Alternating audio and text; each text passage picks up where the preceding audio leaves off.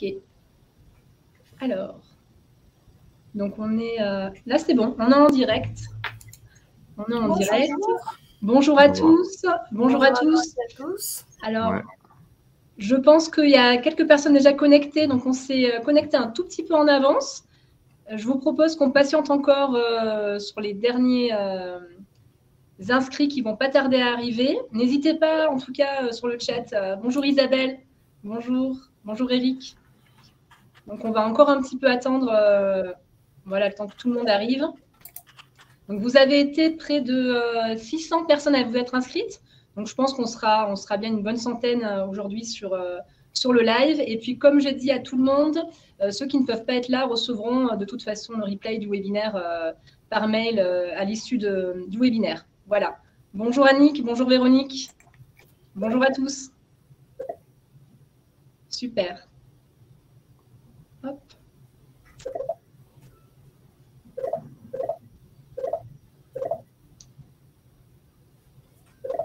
Alors, si vous voulez, on peut, euh, on peut commencer euh, à attaquer. Donc, en préambule, euh, avant que, que et Emmanuel puissent se présenter, puis moi aussi, on avait une question pour vous tous qui êtes présents en live. C'est savoir quel est votre jeu préféré et pourquoi. donc, n'hésitez pas à répondre sur le chat. Donc, simplement, dites-nous votre jeu préféré. Ça peut être un sport, un jeu de société. Euh, tu avais des idées en tête, Michael, toi aussi, quand tu Ouais, ça? peut même être des pratiques artistiques, euh, créatives aussi. Enfin, vraiment, vous réduisez pas au, juste aux jeux vidéo, aux jeux de société. Voilà. Euh, yes, on a des choses qui arrivent. Je vois qu'il y a du Magic, tout ce qui est cartes. de poursuite, bah oui, ok. Le Cluedo, très bien. Ok. Euh, donc, bienvenue à tous euh, sur ce premier webinaire de l'année 2022 euh, pour Digiformag. Donc, je suis Pascal, donc je suis la responsable événementielle de Digiformag. Aujourd'hui, on va parler donc gamification sur l'intégration de vos apprenants. Et pour ce sujet, j'ai invité donc Michael, qui est designer en gamification, et Emmanuel, qui travaille au sein d'un organisme de formation et qui, elle aussi, met en place pas mal de choses sur cette thématique. Donc là, l'idée, c'est que pendant euh, une demi-heure, on puisse euh, vous présenter un peu le sujet, des exemples, des cas concrets. Il nous restera du temps ensuite pour euh, répondre à vos questions et qu'on puisse vraiment être dans l'interactivité. donc, si tout le monde est, prêt, ben, on, est, on est parti. Emmanuel, je te laisse te présenter. Donc, voilà, en quelques mots, dis-nous d'où tu viens, qui tu es. Bonjour à toutes et à tous. Donc, moi, Emmanuel Chestagnol, je travaille au CEPFOR, donc euh, un centre de formation qui, euh, qui appartient au groupe Dopamine, qui est spécialisé dans, la santé. Euh, donc, on a différents services au niveau du groupe de formation. On va avoir un service en intra et inter euh, qui vont proposer des formations aux entreprises. Donc là, on sera davantage sur euh, l'accompagnement de soins, on sera sur du management, sur le prendre soin du salarié avec tout ce qui est gestion du stress, relaxation, QVT, qualité de vie au travail et euh, le service euh, du coup alternance avec le pôle CFA dans lequel euh, je travaille. Et donc là, on va avoir des formations un petit peu plus longues, de 1 à 2 ans. Et, dans le cadre de ces formations, je mets en place des ateliers que j'appelle ateliers de vie de groupe ou de communication, où on va faire appel du coup au sujet de ce webinaire aujourd'hui sur la gamification. Donc je vous en dirai un petit peu plus tout à l'heure. Merci. Ok. Ça marche, merci Manuel. Bah, Michael, je te laisse euh, continuer. Yes, ben bonjour à toutes et à tous. Moi, c'est Michael euh, Burov, du coup, de, de, la, de l'agence Feedback. Du coup, on, est, euh, on a cofondé ça avec Alexandre euh, bah, sur comment on, en fait, le but de l'agence, c'est à la fois d'accompagner sur des expériences qui font passer à l'action. Donc, on, intervient à la fois pour concevoir des expériences et on fait aussi beaucoup de formation, d'accompagnement à mettre en œuvre la, méthode de, la gamification. Et on crée des outils pour ce faire, entre autres euh, des outils, on a même un livre chez Dunode aussi sur le sujet. Et, euh, donc voilà, dans, plein de types de domaines, dont la formation, on aura l'occasion d'en parler. Et, euh, et aussi, du coup, euh, on anime une communauté avec une série aussi de, de webinaires variés sur, euh, bah, sur la gamification et globalement sur les gens qui utilisent le jeu dans leur activité professionnelle. Donc voilà un petit peu pour moi.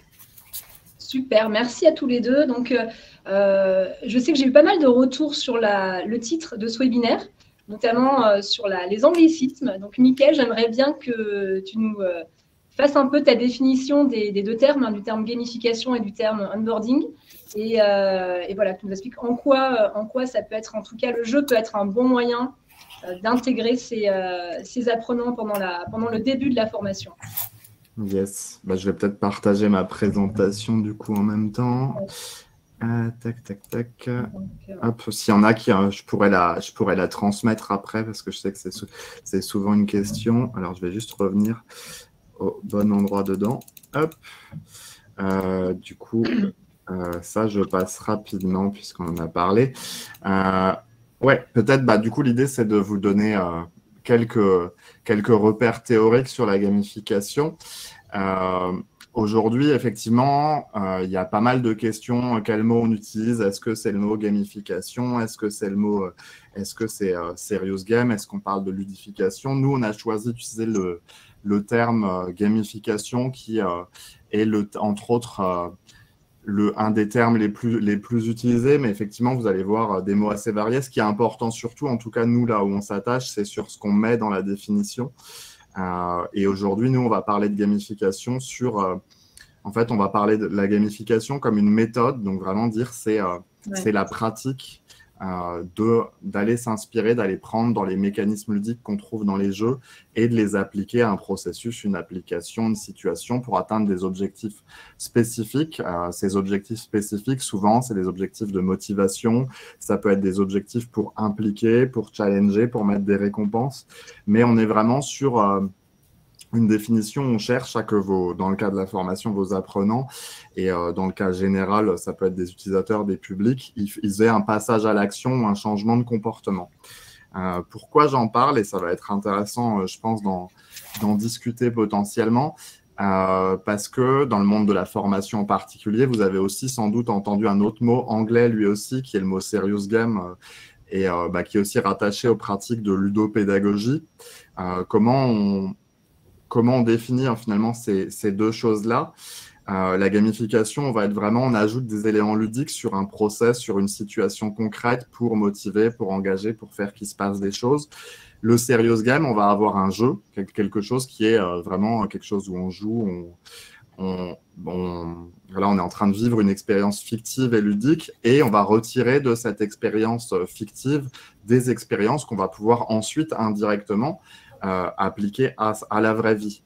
Euh, dans le monde, peut-être je vous donne un, exemple euh, hors formation pour l'instant. si je veux, par exemple, sensibiliser à l'éco-conduite, je peux faire un serious game qui est soit un simulateur, soit un jeu de plateau où vous apprenez pourquoi il faut faire de l'éco-conduite, comment comment peut-être je décélère avant un feu rouge, etc. Mais vous faites, euh, vous faites ça sur une simulation et après, vous allez l'appliquer dans la vraie vie. La gamification, c'est peut-être de mettre un capteur dans votre voiture et vous gagnez des points, vous gagnez des éléments sur une histoire, vous gagnez quelque chose concrètement quand vous le faites en pratique. Euh, la bonne nouvelle de ces deux définitions-là, c'est qu'a priori, dans le monde de la formation, euh, vous avez un peu les deux, les, les, deux objectifs. À la fois, vous voulez passer des messages, des contenus pédagogiques et derrière, vos clients euh, ont l'idée, vos clients ou vos, vos, personnels en interne, il y a l'idée qu'ils appliquent ensuite ce qu'ils ont vu euh, dans la formation, euh, dans la vraie vie. Donc, on a en fait ces deux, choses complémentaires. Pourquoi on les différencie, nous, chez Feedback aussi? Parce que la méthode et la façon de, de travailler ne va pas être exactement la même. Peut-être sur cette question de définition, Pascal, tu voulais compléter quelque chose ou poser une question ou... Non, non, après, je pense que tu pourras nous expliquer aussi euh, pourquoi c'est pas non plus la panacée, que c'est pas en tout cas la réponse automatique à tous les problèmes. je pense qu'on en parlera, on en parlera après. Yes, ok, effectivement. Euh, du coup, peut-être pour vous dire un petit peu euh, d'où ça vient, nous, euh, la gamification, en fait, c'est un, un, domaine qui va puiser dans plein de domaines que vous connaissez peut-être pour certains déjà, et c'est aussi assez rassurant finalement. C'est à la fois rassurant et en même temps, ça puise dans plein de disciplines. On va aller chercher dans l'univers des jeux, bien sûr, mais on va aussi aller chercher, et je pense qu'on aura l'occasion euh, d'en parler avec Emmanuel, dans les sciences euh, comportementales, euh, dans le marketing aussi, et dans les approches centrées utilisateurs, la plus connue étant les pratiques de design et design thinking. Mais en fait, voilà, on est sur un domaine qui va aller puiser ces méthodes et ces outils ailleurs en ayant cette coloration jeu. Rapidement, une slide euh, qui est euh, bah, issue, alors c'est une étude qui date de, 2000, euh, 2020, mais, mais, juste pour vous dire, il y a le nombre de joueurs, de personnes qui jouent occasionnellement en France, on est quand même à 71% des Français qui jouent au moins occasionnellement, avec quand même des profils aussi qui sont répartis sur hommes et femmes, parce que en fait, quand on prend vraiment aussi toutes les pratiques du jeu et pas juste le, le, jeu vidéo sur console, mais aussi le jeu sur mobile, le jeu euh, pendant quelques minutes, etc., en équilibre. Et surtout, on a un âge moyen aussi des joueurs qui augmente euh, avec le temps. Donc, c'est assez intéressant pour dire que le jeu, c'est un média qui intéresse euh, pas mal de monde et donc s'en inspirer, a priori, c'est une bonne idée. Et, d'ailleurs, Mickaël, on peut poser la question aux participants. Bah, dites-nous si vous aussi, bah, vous êtes un joueur occasionnel ou alors, euh, on va dire, un peu compulsif de jeux vidéo. N'hésitez pas à nous le dire là dans le chat. Euh, ça nous donnera une idée, nous aussi, euh, yes. du profil. Voilà.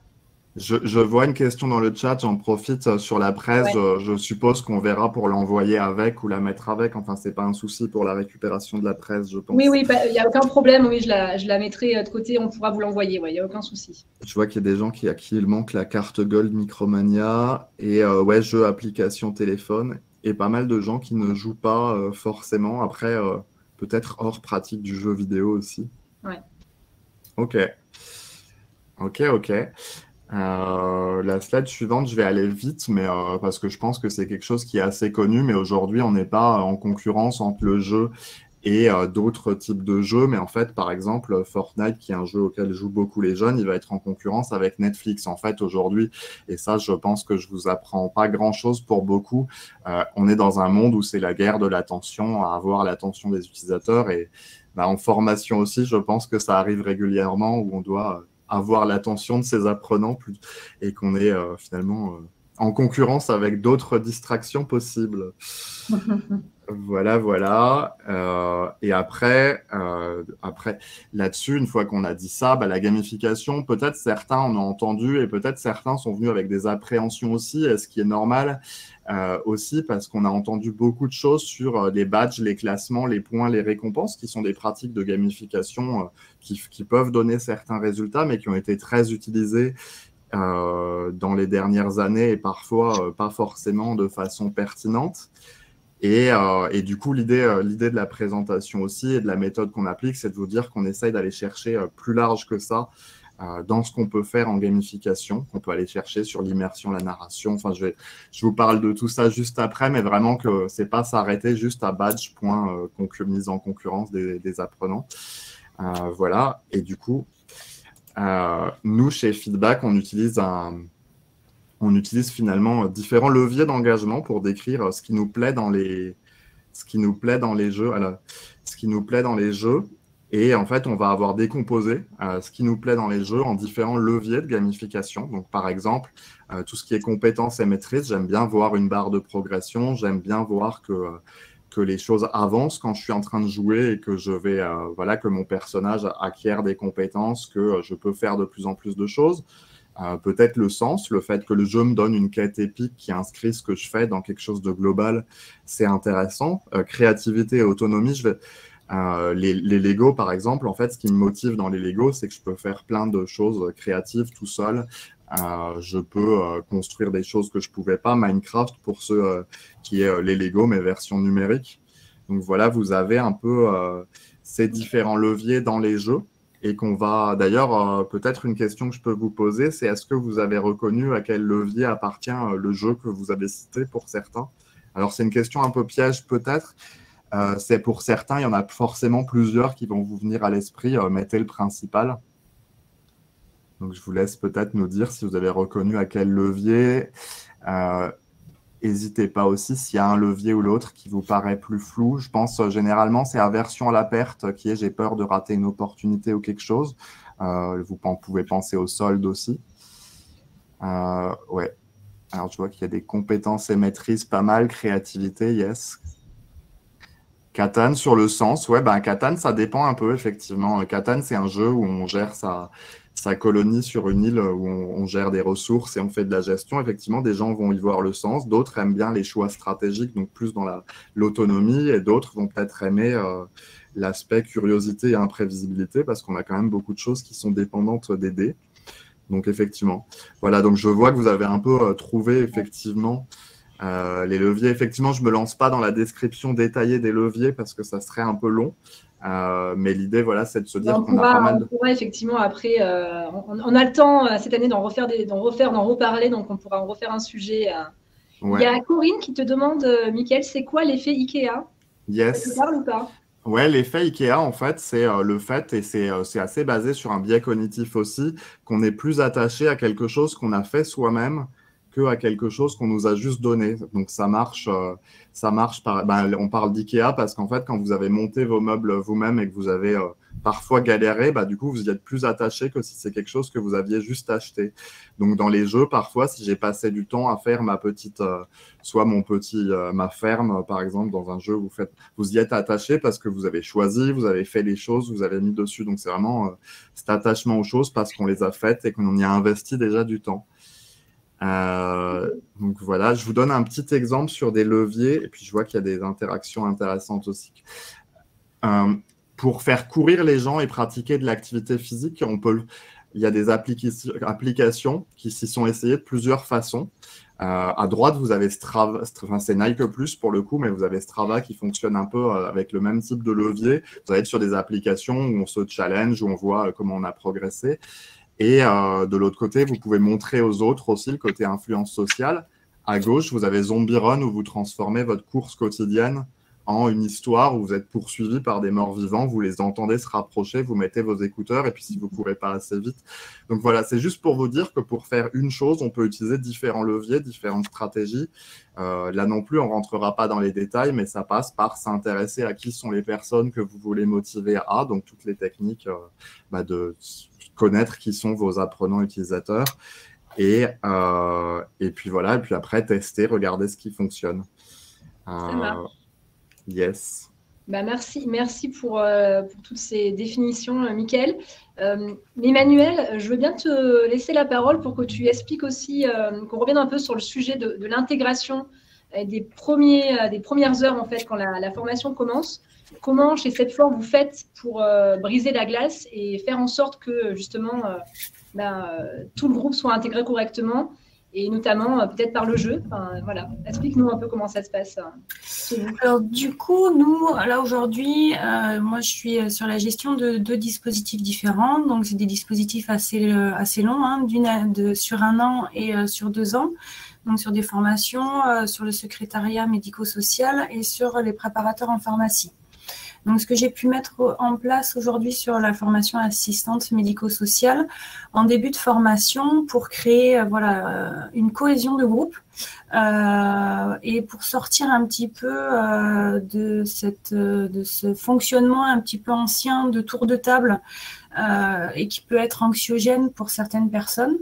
Euh, de mettre en place donc des vies, euh, ce que j'appelle atelier de vie de groupe. Euh, je, je, mets en place ça avec une formatrice qui, qui à la base est psychologue et qui a une démarche euh, du coup, euh, aussi euh, dans le développement personnel, elle fait du management, enfin, elle a des différentes casquettes.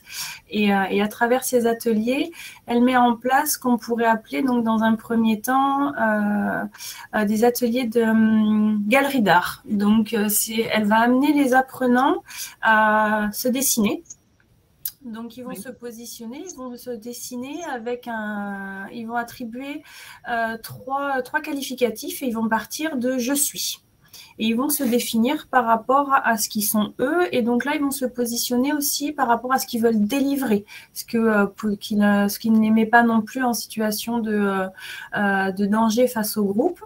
Euh, ces, ces dessins, déjà, nous, en tant que formateurs, On va pouvoir voir comment la personne se positionne euh, face à son dessin, si elle se met loin de son dessin, si elle est proche de la feuille. Il y a des choses aussi psychologiques euh, à aborder un petit peu euh, dans, dans, dans, ce travail fait avec les apprenants. Et ensuite, on va faire une galerie d'art, c'est-à-dire qu'on va amener, on va afficher sur les murs tous les dessins qui sont faits et euh, les personnes vont être debout et les apprenants, tous les autres apprenants des groupes, du groupe, pardon, vont poser des questions à la personne qui a fait le dessin. Comme ça, il y a une interaction et ça amène le dialogue. Donc là, on est aussi sur euh, du coup euh, des systèmes de brise-glace pour, pour amener un petit peu les gens à se découvrir différemment. Il y avait une question intéressante, Emmanuel, de Véronique qui nous demande la différence entre onboarder et icebreaker. Donc, est-ce que quelle est la différence que tu, que tu y vois entre le terme euh, onboarding et, euh, et icebreaking? Alors, onboarding, c'est euh, dans la signification, va être plutôt monter à bord, c'est ça? Oui, c'est ça en fait. Ouais. Euh, et brise-glace, ben, alors du coup, c'est ben, justement, ça, ça, fait lien avec euh, d'autres choses qu'on met en place par la suite. En fait, on, commence par faire des ateliers où on amène la présentation des gens pour euh, déverrouiller un petit peu cette communication qui peut être inexistante euh, parce que les gens ne se connaissent pas. Donc ça permet de mettre en confiance les gens et par ce, euh, cet aspect un peu ludique d'amener des, des techniques de découverte du groupe. Et ensuite, on va amener du coup davantage vers la cohésion de groupe par rapport avec des jeux où on va initier, on va nous alors nous on utilise euh, des jeux comme euh, Times Up parce que c'est pas mal, on peut l'attribuer. Times Up, on peut euh, le formateur peut l'adapter à sa formation. C'est-à-dire qu'il peut en fonction du thème de la formation, il va pouvoir créer un certain nombre de champs lexicales et on fait des petits groupes. Donc ça ça dépend aussi de l'effectif de, la formation. on fait des petits groupes et on fait deviner les mots et, du coup ça donne une bonne dynamique. C'est un jeu qui plaît assez et, qui marche bien.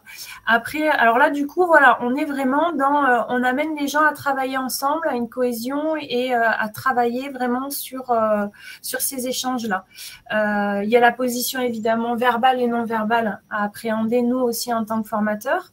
Et là, le formateur va aussi avoir son rôle de médiateur, c'est-à-dire que ben, dans tout, aspect de, vie de groupe, hein, on a toujours des dominants, des dominés. Et donc, c'est aussi à cette approche psychologique qu'on peut avoir de euh, remettre un petit peu les, personnes euh, pour qu'il y ait un point d'égalité euh, dans, le jeu et, dans ces approches de, découverte de groupe. On utilise aussi le Dixit parce que le Dixit c'est pas mal déjà c'est quelque chose de très visuel et qui va. Tu peux, tu peux nous expliquer un peu Emmanuel pour ceux qui connaissent pas? Alors le Dixit donc il y a un certain nombre de cartes c'est des cartes avec des beaux dessins euh, donc, il se joue minimum à 4, je crois, 4 ou 5. Il ne faut pas être euh, trop peu parce que sinon, ce n'est pas intéressant. Euh, du coup, il y a un compte, ce qu'on appelle un compteur qui est désigné, donc qui, qui, choisit une carte. Et par rapport au dessin qu'il va avoir lui et que ses adversaires ses, ses, collaborateurs, enfin, je ne sais pas comment on peut dire en formation du coup, c'est pas sur le jeu, ne connaît pas, il va donner une phrase ou un mot. Euh, les autres participants du jeu ont aussi des cartes et ils vont mettre une carte retournée qui est en lien avec ce que le, compteur euh, a dit. Après, ils déposent toutes les cartes devant eux et euh, les participants doivent trouver la carte du compteur. Ok. Voilà, donc du coup, c'est vrai que on travaille sur l'imaginaire, sur l'expression, euh, il y a l'association d'idées aussi, comme ça on voit un petit peu si euh, les gens euh, ben, fonctionnent sur, sur, le, sur, sur les mêmes bases, si vraiment il y, a, il y a cette cohésion qui, qui, qui fonctionne.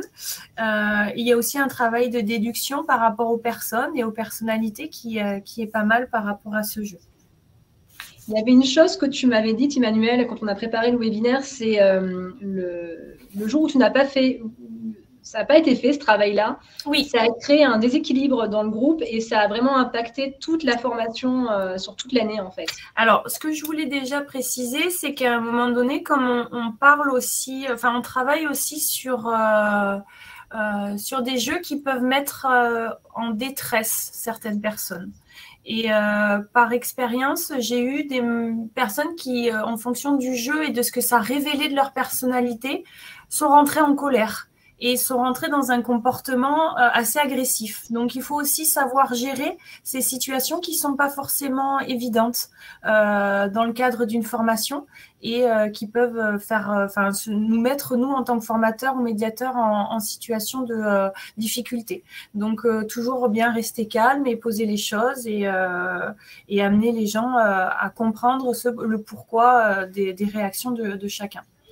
Et euh, par rapport à ce que disait Pascal, euh, oui, je ne l'ai pas fait pour euh, mon, mon, dispositif de préparateur en pharmacie qui a commencé au mois de, euh, de septembre. Et aujourd'hui, je vois euh, que, qu'il y a une cohésion de groupe qui se fait pas. Et euh, je, je, vais y remédier. Du coup, je ne sais pas si je pourrai d'ici la fin de l'année, mais comme c'est sur une formation de deux ans, en rentrée de septembre, je vais le mettre en place pour essayer de voir si je peux faire une émulsion un petit peu positive sur cette reprise de, de formation et que et du coup, j'aurai un comparatif aussi sur ces deux années sans l'avoir fait en l'ayant fait. Et euh, je, pourrais, euh, je pourrais justement analyser un petit peu euh, ces, approches-là, parce que comme disait bah, Michael tout à l'heure, c'est intéressant aussi de, en tant qu'observateur implicite de s'intéresser aux neurosciences, parce que par rapport aux personnalités des, individus, on va pouvoir aussi, nous, déterminer un petit peu les profils. Bon, ça reste aussi subjectif, hein, mais déterminer des profils et en tant que formateur, se positionner pour amener euh, vraiment les personnes à mieux travailler ensemble. Ce que je vous propose, comme il y a pas mal de questions dans le chat, c'est qu'avant que Mickaël puisse nous donner d'autres cas pratiques et exemples, on comprenne quelques questions. Ça vous va? Oui, bien sûr. il y avait une question sur la durée de la formation. Donc, en tout cas, est-ce que la gamification marche pour les formations courtes? Est-ce que vous estimez que même pour une formation qui va durer une journée ou une demi-journée, ça vaut la peine de faire quelque chose ou pas? Alors pour ma part, moi je dirais que ça dépend du contenu de formation à apporter parce que c'est des ateliers qui, en fonction de ce qu'on présente, peuvent prendre un peu, prendre un peu de temps. Donc euh, ça dépend si le contenu euh, dans le laps de temps qu'ils ont. Et euh, moi je dis que c'est toujours enfin ça va toujours avoir son utilité de toute manière. Il y a Sabine qui nous demande comment adapter un jeu à la matière enseignée. comment enseigner? Euh, c'est-à-dire par rapport au secteur de la formation, vous, pourriez, enfin, il faudrait thématiser le jeu ou pas forcément. Euh, ben oui, déjà, euh, ben juste sur le fait de, si on prend le, le principe du, du Time's Up, on peut tout à fait, en fonction de, des filières, dans, enfin, sur le, le métier d'enseignement, on peut tout à fait voir ce qui pourrait être utilisé. Euh, sur. Euh, euh, ouais, alors là, du coup, c'est à, réflexion, mais ça pourrait être, pour être intéressant. Comme ça, c'est ça que je vois.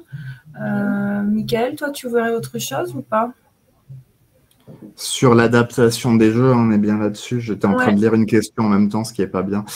Mais du coup, ouais, en fait, l'adaptation des jeux, je pense qu'un des points, c'est vraiment de voir aussi si le, le jeu, le jeu, il est adapté à la, à la dynamique dont vous avez besoin. C'est ça. Euh, est-ce qu'il a la bonne durée? Est-ce que euh, nous, on fait pas. Enfin, souvent, ça peut être effectivement des bonnes idées hein, de réadapter quelque chose qui existe déjà, mais avec de la vigilance quand même. Euh, quand un jeu est construit avec une certaine mécanique, est-ce que ça supporte bien le message et le contenu que vous voulez passer ou pas?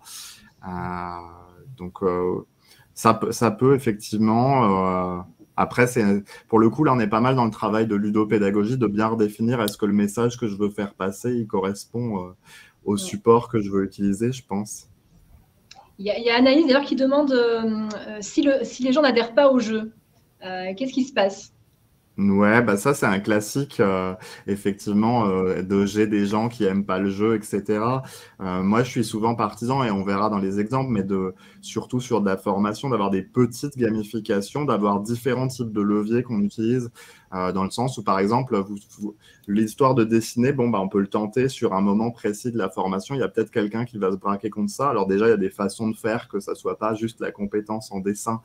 C'est ça, il faut l'amener aussi qu'on n'est pas, on, enfin, tous, on n'est pas, on n'est pas artiste. Hein.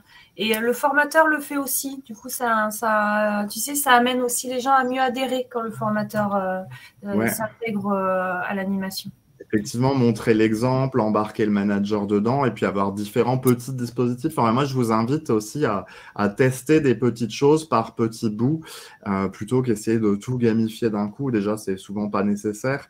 Et, euh, et, puis effectivement d'éviter un truc de rejet. En formation, d'ailleurs, on n'a pas besoin de non plus dire qu'on fait de la gamification euh, pour s'inspirer, pour mettre des choses plus ludiques ou participatives dedans. Je pense qu'il y a des gens aussi, vous leur dites jeu, ils sont dans le monde professionnel et du coup, ça leur fait peur. Euh, oui. Et il y en a aussi qui n'adhèrent pas au début et qui se prennent au jeu, on va dire, si on peut dire. Euh, qui sont très réfractaires au début et qui, en fin de compte, vont revoir leur position au, fur, au, fur, et à mesure que, que l'atelier se, se, suit. Donc euh, voilà, après, il faut, faut aussi voir euh, le pourquoi, parce qu'il y en a souvent, c'est la posture dans laquelle ça les met. Ils se sentent en, en, situation désagréable, donc ils disent qu'ils adhèrent pas. Mais c'est pas forcément qu'ils n'aiment pas le jeu ou que ça leur plaît pas. C'est que du coup, ils se mettent en retrait parce que euh, ça, ça les, ils sont pas à l'aise. Donc, c'est aussi avoir à déterminer en tant que formateur euh, euh c'est, voilà, c'est, cette communication verbale, non verbale qui, euh, peut induire ce, ce rejet de la participation. Ça marche. Je garde les questions pour, pour tout à l'heure. On a encore un petit peu le temps. Mickaël, on va parler aussi de la, des formations en distanciel. Donc, tu as préparé quelques exemples en fait très concrets. ouais vous êtes nombreux aussi à faire des formations aujourd'hui euh, à distance, euh, ou en tout cas euh, à, compter le faire en 2022. Donc, euh, Mickaël, je te laisse présenter un peu tes exemples. ouais, alors je vais aller directement sur les exemples, yes. du coup, l'idée, ben, déjà, petit message quand même, là, l'idée, c'est que je vous ai pris des exemples assez simples de choses qui qui s'implémentent dans des choses que vous faites déjà. L'idée, c'est pas de forcément venir tout chambouler.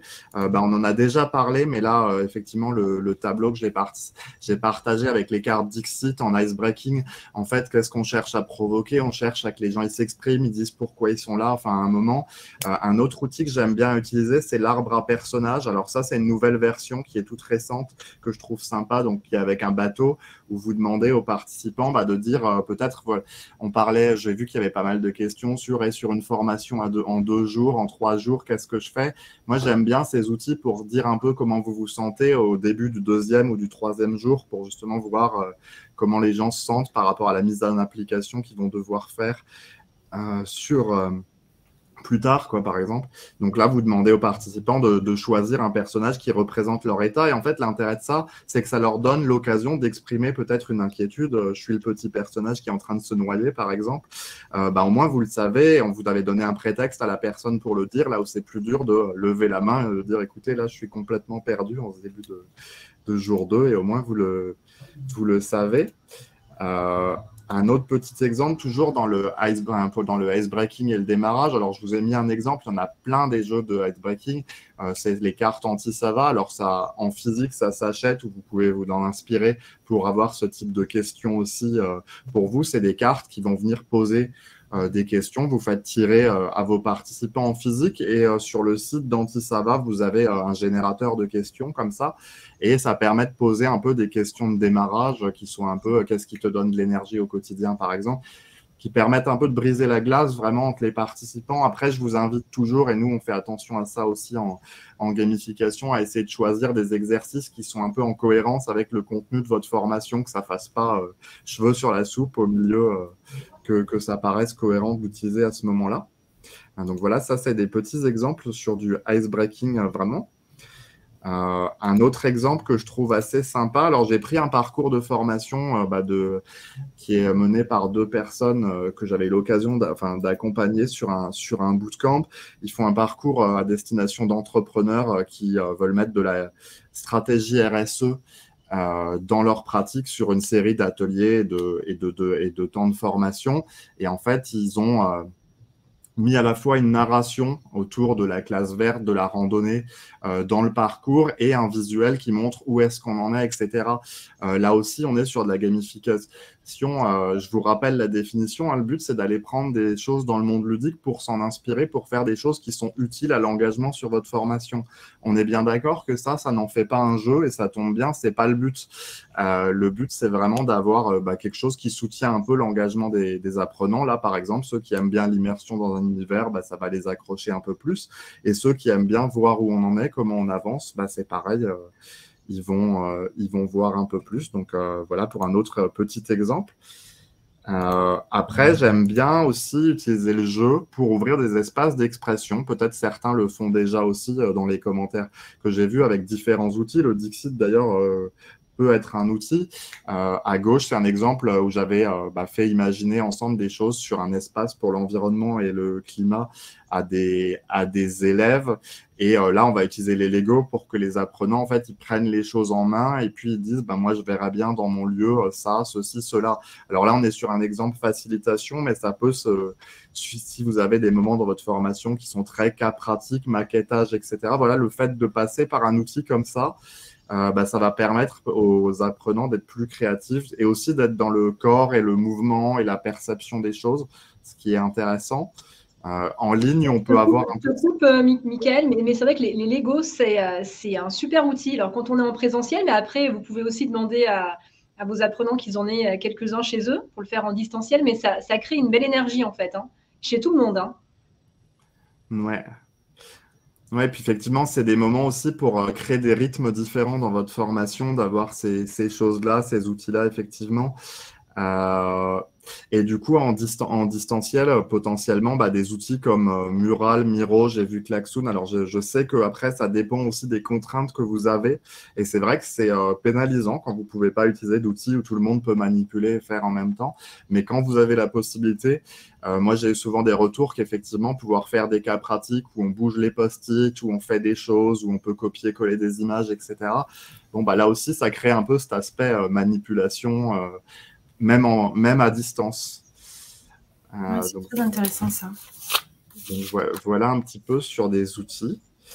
Euh, et euh, alors, je vous ai mis un exemple, mais celui-là, pour le coup, ça se rapproche plus du serious game, mais vous avez une, une, petite structure qui s'appelle Bellu Games, qui a fait un jeu qui s'appelle, pour le coup, j'appelle ça un jeu parce que ça s'approche plus du serious game, qui s'appelle Mission Coopération, qui va être là pour amener plein de notions sur la coopération.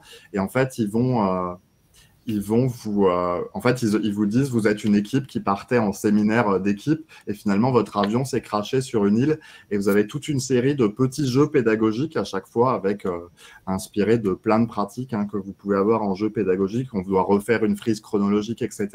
Et où on a, ce que je trouve intéressant en fait, et pour la formation en particulier, c'est que là on est sur une structure où on alterne des petits jeux, des débriefs, des petits jeux, des débriefs. Donc vous avez des moments vraiment ludiques et des moments où on débriefe et on en discute. Euh, et là aussi, euh, pourquoi j'en parlais? Parce que du coup, le fait d'amener un univers fictif, ça permet de mettre les participants sur une situation commune où on peut discuter, faire de l'étude de cas, faire des choses, euh, faire des choses comme ça, dire voilà, là, les personnages se comportent comme ça parce qu'il y a tel biais, il y a telle chose, etc. Donc, ouais, de ramener un univers, bah, ça, prend, ça prend des graphismes, ça prend de l'énergie, mais ça peut vraiment apporter aussi aux apprenants. Et puis, euh, dernier exemple que j'avais, euh, d'utiliser des challenges et des défis.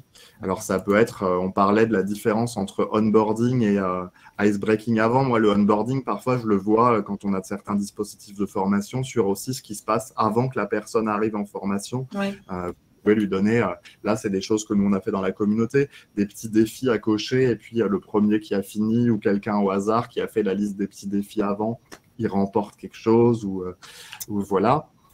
Et euh, pareillement, là, sur une autre, euh, sur, bah, toujours sur cet atelier avec, euh, avec des éco-délégués, on les avait fait rédiger des fiches missions qu'on mettait sur un arbre sur l'écologie. Donc, en fait, ça permet de formaliser finalement des choses qu'ils ont appris dans les ateliers sous forme de, de bah, avec des cadres, des canevas, des choses qui, permettent un peu de mettre du sens. Et, et pareil, là, on utilise un peu d'immersion, hein, on utilise la métaphore de l'arbre, etc.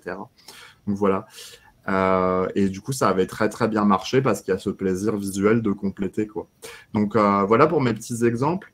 Et bah, j'aurais juste envie de vous dire, l'idée là qu'on s'est dit en préparant aussi avec, avec Pascal et Emmanuel, c'est de vous montrer des choses simples qu'on peut générer comme idée et implémenter vraiment progressivement sans forcément tout de suite mettre l'artillerie lourde sur je veux gamifier ma formation. Quoi.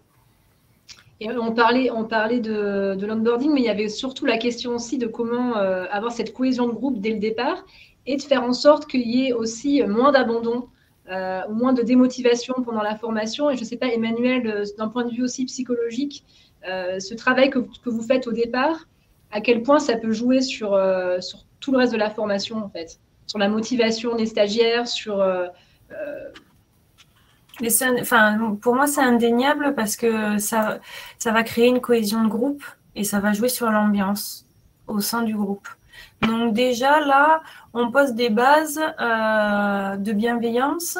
Euh, on peut, euh, ce qui est fait aussi de, chez nous en formation, c'est ce qu'on, c'est ce qu'on appelle. alors attendez, comment, comment c'était c'était des euh, chartes, collectives. On peut euh, euh, prendre le groupe et dans un échange d'idées pour voir un petit peu ce qu'est le vivre ensemble pour chacun. poser une, base de charte collective et identifier en fait avec le groupe ce qui va pouvoir faire que ça va continuer à marcher comme ça pendant toute la durée de la formation et engager aussi les apprenants dans le sens où tout le monde signe. Là, déjà, dans cette démarche-là, on voit aussi ben, qui se positionne en proposition d'idées, en secrétaire, en voilà les différents rôles que ça peut engendrer. Et euh, mhm. je pense que ça a un, enfin oui, ça a un impact aussi sur euh, sur euh, le, maintien des personnes en formation. et après, il y a tout un, je pense aussi un rôle au niveau. alors du coup, c'est différent en centre de formation et en entreprise. Là, moi, je suis plus quand même sur sur organisation en centre de formation, mais sur l'accompagnement au quotidien, que les apprenants se sentent écoutés, voilà, qui est aussi euh, cet accompagnement qui est fait. Mais bon, là, on rentre aussi hors, euh, hors moment de, groupe, quoi. Mais euh, je pense que ouais, c'est important cette, cette idée d'ambiance pour, pour donner aussi envie, au-delà de la formation, aux gens de venir. Oui, c'est ce qu'on disait aussi avec Mickaël, c'est que gamifier à tout prix, il n'y a pas non plus beaucoup d'intérêt. Et justement, Mickaël, tu peux nous dire un peu les limites que tu vois, toi, dans ce, dans ce type de procédé? Ouais, ben en fait, déjà, il euh, n'y a pas forcément besoin de gamifier. Enfin, nous, on a parfois la, la question, même sur des formations que nous-mêmes on donne, parce qu'en fait, euh, si vos apprenants sont déjà là, très engagés, que tout se passe très bien, etc., euh, pourquoi mettre de la gamification Pas forcément? En fait, ce qu'il faut voir, c'est est-ce qu'il y a des comportements, des choses où les apprenants ont du mal à passer à l'action, peut-être pour se présenter, peut-être pour agir après la formation, et se dire, c'est ces points précis sur lesquels je des choses. Euh, nous, les limites de la gamification qu'on a et de façon générale, c'est qu'il faut que ça soit dans l'intérêt de l'apprenant déjà, euh, qu'on euh, sache qu'est-ce qu'il gagne, ça soit dans l'intérêt aussi du formateur qui met ça en place. Euh, donc, il faut que les deux se retrouvent. Et après, effectivement, je pense que, en fait, on a on a un peu ce, cette question souvent du c'est quoi le bon dosage de la gamification? Et ça dépend énormément de là où vous êtes, de vos apprenants, etc. Euh, peut-être si vous êtes, et c'est peut-être faux, hein, il faudrait faire la recherche, mais peut-être si vous êtes dans une classe avec euh, des jeunes plus, avec des, avec des jeunes de 15 ans, peut-être qu'il faut en mettre plus que euh, si vous êtes avec des cadres dirigeants d'entreprise. Et, voilà, et peut-être pas sous les mêmes formes, mais non, en tout cas, il y, a des limites hein, claires, bah, c'est que ça prend du temps, ça se teste et, effectivement, il, il faut, faut, voir quel problème précis d'engagement on adresse. Quoi. Ça marche. Bon, ben, on a fait un tour qui est assez complet. Il nous reste euh, un bon quart d'heure. Je vous propose qu'on prenne quelques questions et puis qu'on y réponde. Oui. Euh, alors, euh, je vais refaire un peu un point sur le chat. Donc, n'hésitez pas, hein, prenez, prenez le temps de reposer vos questions. Là, on a vraiment un bon quart d'heure pour, pour, faire un peu plus d'interaction. Donc, il y a pas mal de partage euh, d'outils. Alors, ça aussi, je ferai, je pense, euh, un article qui va résumer un peu euh, le webinaire. Et on mettra en lien, donc, Michael, ta présentation, tes slides, et puis des liens vers des outils. Comme ça, vous aurez, vous aurez pas mal de choses. on parle du photolangage. Je ne sais pas si ça vous évoque quelque, chose, Michael ou Emmanuel. Ouais. Le principe du photolangage. Le photolangage, en fait, c'est le principe d'avoir des cartes où il y a des photos ou des illustrations pour générer de la discussion. C'est des outils, je trouve, qui sont assez versatiles dans le sens où on peut les utiliser. Euh, choisissez une carte pour vous présenter, mais on peut les utiliser de plein de façons différentes après euh, sur de la génération d'idées. Dire euh, prenez une carte et voyez l'idée que ça vous inspire, sur de comment vous vous sentez en fin de formation. Enfin, moi, je trouve que c'est des outils assez pratiques. J'ai vu qu'il y avait la question aussi de comment ça s'intègre dans des, dans des séquences pédagogiques. En fait, je pense qu'il faut vraiment que vous pensiez à les mettre dans des moments d'entrée, de sortie, euh, et pas forcément euh, n'importe où, à n'importe quel prix euh, dans la séquence, effectivement. Dixit est intéressant aussi par rapport à, ces, idées de, positionnement, d'explication euh, sur euh, des photos, sur des images, parce qu'elles sont assez complexes et du coup, elles peuvent générer euh, vraiment des discussions très intéressantes sur comment se, positionnent les, apprenants. moi, je trouve que Dixit est vraiment un, bel outil. Ça marche. Il y a Isabelle qui nous demande que conseillez-vous à mettre en place pour faire le tour de table des participants? Euh, voilà, sur les attentes, les besoins. Moi, je veux sortir, enfin, moi, je ne suis pas dans cette dynamique de tour de table, justement. Je veux sortir de ce fonctionnement qui peut être un, peu anxiogène pour certains qui ont du mal à prendre la parole. Et euh, du coup, de les appuyer sur un support qu'ils ont déjà établi. On peut utiliser le brise-glace, par exemple, euh, ben, ou alors sans, rentrer dans, sans rentrer dans le dessin, par exemple, on peut on peut demander aux personnes de s'identifier avec euh, un qualificatif, un objet, euh, euh, ce pourquoi, enfin, qu'est-ce que, pourquoi, comment ils se représenteraient eux avec un objet ou un mot. et ensuite, on, instaure un dialogue et on rentre dans une présentation un petit peu dérivée. Mais on n'est pas dans, dans, formel. je fais ça, je fais ci. et du coup, c'est, un peu, enfin, je trouve que la dynamique est, un, peu, un peu plus intéressante. J'attrape au vol, je vois que tu as l'exemple de la présentation inversée dans le chat. Je trouve que c'est une, très bonne idée bah, de jouer sur la collaboration entre les gens et ça les déstresse un peu. Tout à fait. Il y a une question euh, sur le handicap. Tiens, est-ce qu'il y, a des outils de gamification pour les personnes euh, sourdes et muettes, par exemple? Eh bien, du coup, vas-y, vas-y. Ouais, je pense que ça rejoint la question euh, qu'on a globalement euh, dans le milieu du game design de l'inclusivité, l'accessibilité. Et en fait, euh, souvent, la réponse, c'est d'essayer d'avoir des modalités différentes et qui font appel à, à différents sens. Par exemple, de ne pas baser toutes ces, toutes ces, tous ces mécanismes, mais ça, ça c'est pareil hein, pour la, même pour les séquences pédagogiques, que sur du visuel ou que sur de l'auditif. ou etc. Donc je pense que c'est vraiment plus dans la variété de ce qu'on ce qu'on utilise euh, qu'il faut, qu'il faut jouer, effectivement, de ne pas faire, par exemple, que des, que des jeux avec des images ou avec beaucoup de lecture, par exemple, parce que ça peut être, ça peut être aussi un point bloquant. Oui, parce que du coup, c'est vrai que bon, bah, après, sur des. Donc, on, va voir en fonction du handicap, mais euh, euh, si, si, à un moment donné, c'est c'est auditif, on va peut-être pouvoir rentrer dans le mime euh, avec l'écriture. Euh, sur, euh, sur le visuel, on va être sur de l'audio. Donc c'est toujours voilà, essayer de trouver des dérivés de l'utilisation de ces outils qui peuvent être intéressantes, mais pas impossibles. Ok. Alors, est-ce qu'on a d'autres questions qui nous viennent, qu'on n'aurait pas vu passer? Alors, alors là, Pascal, comment peut-on intégrer la gamification sur Digiformat? Là, je vais, je vais passer le, relais à mes collègues. Hein. Il y a des quiz. Alors, euh, il y a effectivement, pour ceux qui ont des logiciels euh, comme Digiformat ou autre, euh, c'est vrai que beaucoup utilisent des quiz, mais je ne dirais pas que c'est vraiment de la gamification.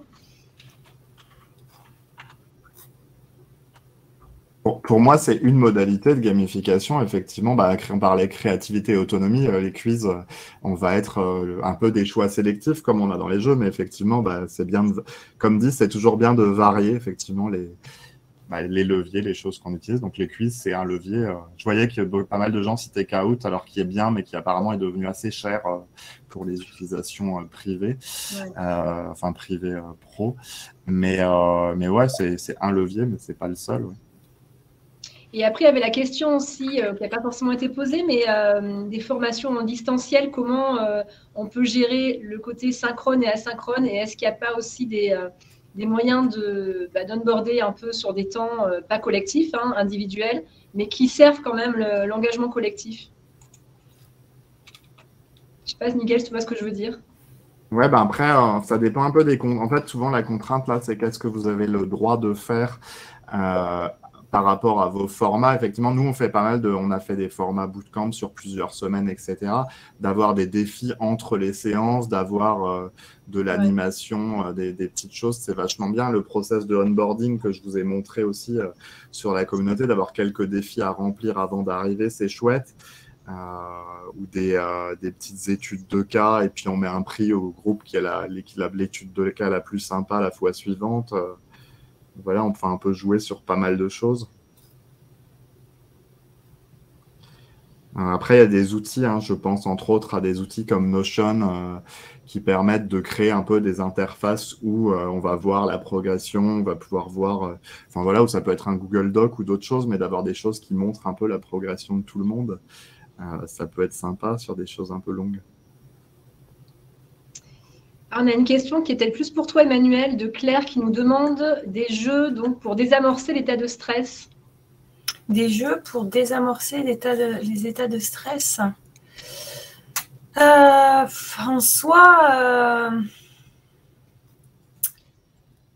en soi, je pense que là, c'est plus pour des formateurs qui sont sur des publics peut-être euh, un peu plus jeunes, ou je, je ne sais pas d'ailleurs. Oui, alors du coup, il faudrait voir tout à fait, il faudrait déjà voir l'âge des, euh, euh, des, des, stagiaires et peut-être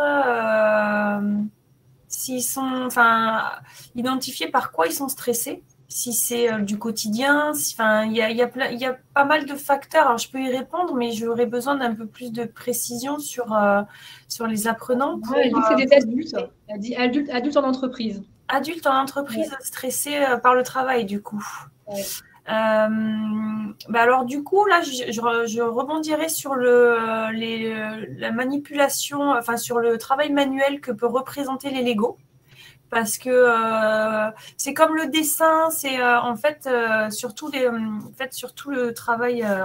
moi, je, pratique la méditation et, et c'est vrai que le fait de dès une activité comme le dessin, la musique, ça reste des temps méditatifs parce qu'on se on se concentre sur autre chose que notre tracas du quotidien et on se libère un petit peu l'esprit, on arrête de faire fonctionner notre mental, notre charge mentale.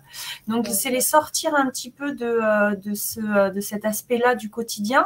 Donc, en soi, tout jeu va être, va être adapté dans le sens où ils, vont sortir un petit peu de ces situations un peu, euh, on va dire, du quotidien professionnel qui les stresse pour les amener dans une autre dynamique peut-être. Il y a Sophie. Ah oui, tu voulais reprendre, Nickel Ouais, mini complément. En fait, dans le, moi, je pratique aussi du jeu de rôle, par exemple, qui est une façon de se raconter une histoire avec des règles autour d'une table.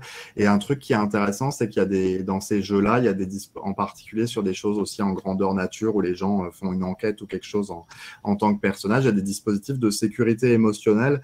Et donc, ça peut être aussi, par exemple, vous avez un endroit où euh, quand la personne euh, bah, ou, une carte a touché sur la table, où la personne peut dire là en fait je me sors du jeu parce que j'ai besoin d'un peu de temps pour moi, j'ai besoin qu'on arrête euh, de pousser les questions, etc. Donc ça peut être aussi des, dispositifs comme ça de, sécurité entre guillemets. Ouais, on peut mettre à disposition des buzzers aussi, voilà, pour, pour déterminer que là je suis trop en inconfort, je m'en vais. Ouais.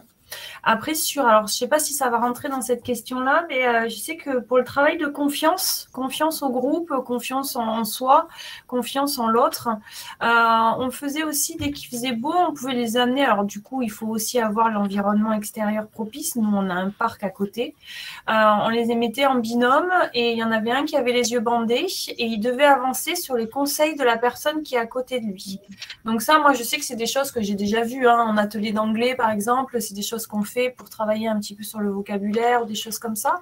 Mais ça peut être aussi euh, transféré à, justement, je pense, euh, cette confiance, la confiance en soi, en l'autre. Euh, on est aussi sur, sur de la gestion de, qui, peut, qui peut amener du stress. Donc ça peut être aussi, il faut aussi amener à sortir, à sortir du cadre d'une salle, à les amener dans un différents environnements.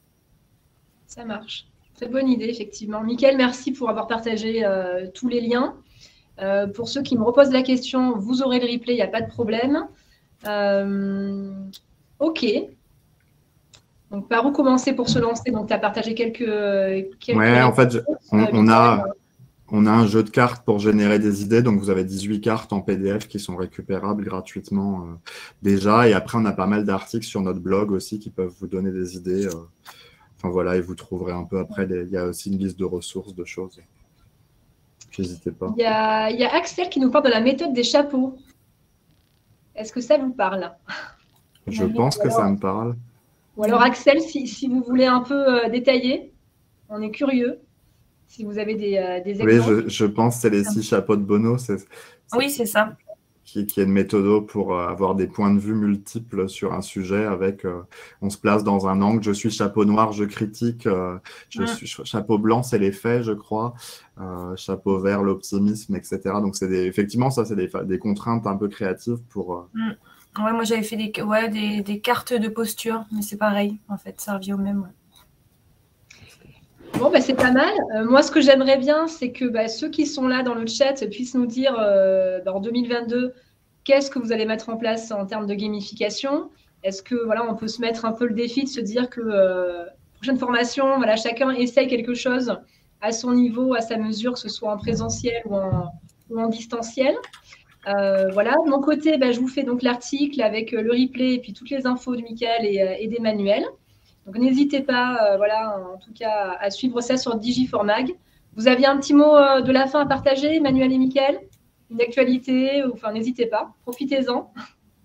Eh ben non, après, euh, il y a plein d'idées. Il faut, euh, faut, y a aussi pas mal de choses. Donc, il y a une veille à faire, hein, à s'intéresser toujours parce que bah, c'est des domaines qui sont très innovants et, euh, et après, ben, toujours faire. Enfin, quand on part avec, avec beaucoup de bienveillance, de toute manière, je, je pars du principe qu'on arrivera forcément à faire de belles choses avec nos groupes.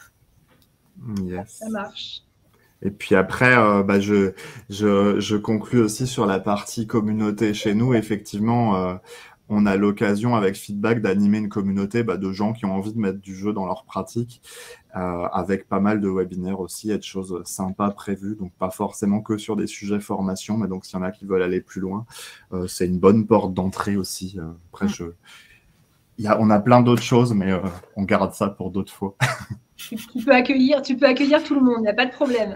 c'est ça. Mais en tout cas, on a beaucoup de formateurs qui se posent ces questions-là, effectivement, et je pense que c'est un, vrai sujet. Mais après, le mot que j'ai envie de dire, c'est euh, à bon escient, et puis euh, petit à petit, euh, l'idée, enfin, c'est vraiment pas, enfin, c'est que ça doit être à votre service et pas l'inverse, quoi. Mm. Et surtout être à l'aise avec l'outil qu'on propose. Vraiment, se l'approprier, c'est encore mieux, mais voilà, il faut que ça vous parle avant tout à vous, avant que ça parle déjà aux apprenants. Ça marche. Eh ben, merci à tous et on se donne rendez-vous le mois prochain pour un nouveau sujet. Donc, euh, à très bientôt et merci à, merci à tous. Merci, merci pour l'invitation. Bye.